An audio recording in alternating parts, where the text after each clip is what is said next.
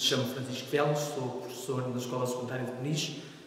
Tenho dedicado de alguma forma à fotografia e esse, esse gosto surgiu até pela necessidade de valorizar o património geológico que estava muitas vezes esquecido. Considero mais um, um caçador de imagens do que propriamente um fotógrafo, porque uh, não dominarei as técnicas todas,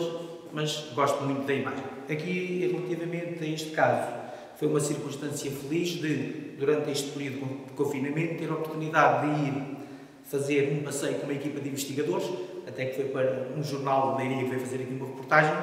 e naquele momento específico apareceram três vezes os golfinhos,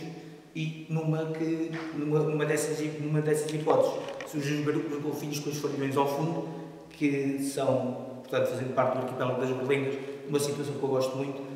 quer sobre a geomorfologia da zona, quer também sobre o conteúdo geológico, uma vez que são rochas bastante diferentes e que é um local do Conselho de Peniche que é menos conhecido. Daí também uh, a oportunidade que foi assim que surgiu o convite. A fotografia tinha poucos dias e foi nesse sentido que então eu apresentei esta fotografia.